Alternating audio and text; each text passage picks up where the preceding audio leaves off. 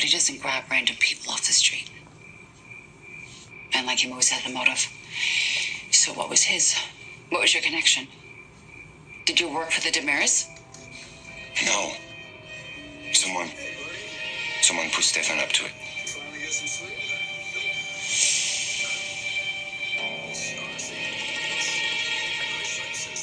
You really would do it, wouldn't you? You would let Will go to prison for a crime he didn't commit.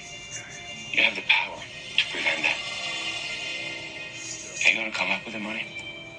Or are you going to let your grandson go to prison? Ted. If you don't tell me who wanted you kidnapped, I'm not helping you.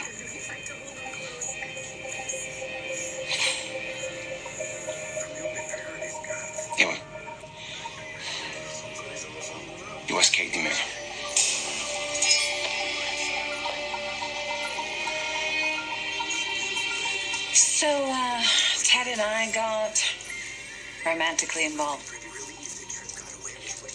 He was pretty persistent.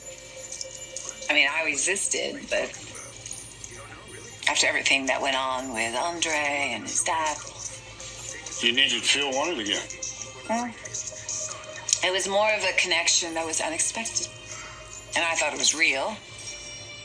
But it wasn't. He was definitely not the man I thought he was. And then he blackmailed.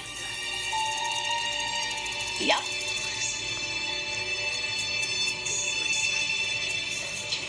Tripp and I slept together because of a lie. He wasn't lying about how he felt about you. No, but it made me rethink everything. And then Tripp actually thought that I only slept with him because you were no longer an option. Like he actually is convinced that I settled for him, which is completely ridiculous. It's obviously ridiculous.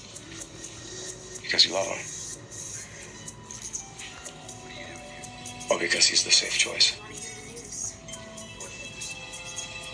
I just got the 10th degree from my mom and I wanted to clear my head, but things don't seem so clear anymore.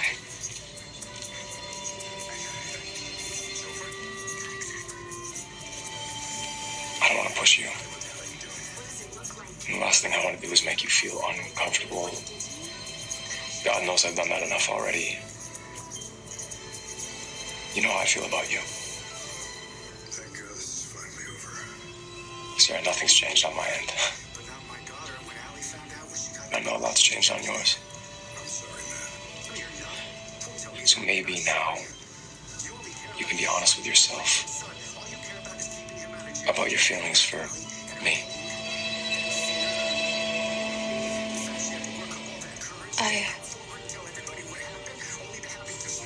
I might. I might feel something more than